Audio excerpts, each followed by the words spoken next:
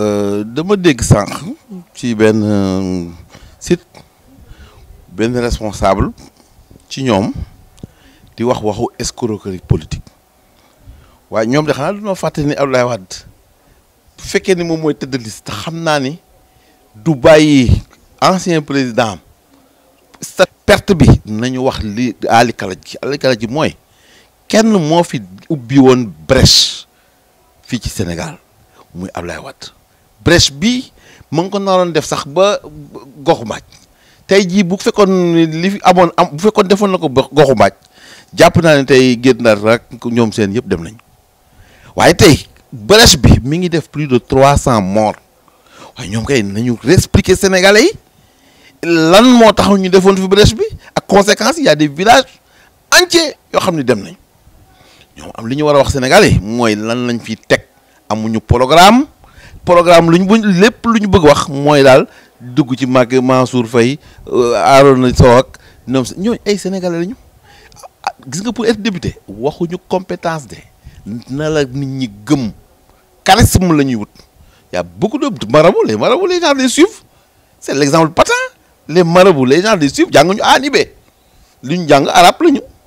moom laa wax moo tax non xam nga bu waxee cumul rek mooy Mansour xëy na dafay nekk ministre mais kan moo ko xam kan ñoo ñoo nekk ministre après deux mille après élection yi kan moo ko neex sax ne ndax ndax premier ministre danañ ko reconduire kooku yàlla rek ko xam bu fekkee rek moom dafa am xam-xam boo xam ni nit ñi xam euh, xamuñu ko nañu wax kan mooy nekk ëllëg ministre de nangam xamu ko kooku président moo ko moom moom la ko yàlla jagleel fii ci Sénégal moom mooy wax bés ba.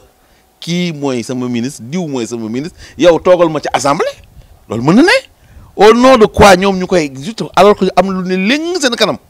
ko xam ne wóor nañu du dem assemblée parce que man maa ko xamal sama bopp Abdoulaye Wade du dem assemblée bu gañee du dem bu gañewul du dem waaw est-ce que mënul weesu loolu kon tey loolu mënul nekk argument du ñu jox sax argument comme quoi que nanu ma leen woon sax wax escroquerie dama doon wax affaire yu ñoom morton la dana doon ay ñoom mor affaire ñoom mor depuis Senghor ba léegi waaye moom moo ko tuddee escroquerie politique moo tax ma leen wax ni kon escroc politique kay nag ñoom xam nañ kan la parce que xam nañ du moom du bu gañee ak bu gañewul dem assemblée moom moom daal maa ngi koy gërëm di ko sant xam nga goro la bëgguma ko wax lu bari waaye nag na xam ne danañ ko dóor fudd ko bu baax a baax ba Saint-Louis xëy na bu jógee dana wuti yoonu Rosso ñoom kay nag ñun de waxuñu woon ba tey du doon wax man bind naa article wax naa sax ni Abdoulaye Wade quel que soit Alpha seen tëdd liste ñoom àdduna du gudd tànk mukk ba muy bu gañee du nekk assemblée bu pertee du nekk assemblée kooku escroquerie politique bu nu ko weesu benn parce que moom dafa am statut ancien président aujourd'hui bu fekkoon ne ak statut ancien président par rapport ak nekk député ban moo ci gën a gaaw ko wax na cas boobu cas boobu mooy moom dafay dafa war a jël statut ancien président moo ëpp doole moo ëpp xaalis moo ëpp notoriété que député kon kay kii def escroquerie politique ñoom xam nañ ko loolu daal moom lu ma jaaxal la ci ñoom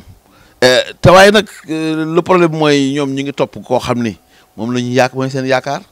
koo xam ne man jàppoon naa ne tey jii dafay jël kurusam yore yore dévo def dévotion vraiment d'un vrai musulman à son âge que di sillonner les rues mel na xar mu xar mu amul buum mooy sama problème man daal jaaxal na ma et puis ñoom kenn du jël sa papa dinaan ko papa demal jël demal boutique ba nga jëlal ma aliment kenn du ko fi wax nañu bàyyi nañu bàyyi di yónni koo xam ni vraiment mag la te âge yi mu joxe sax du âge yooyu ñu commencé di wax di jéem a ndax Saint-Louisien yi mënu ne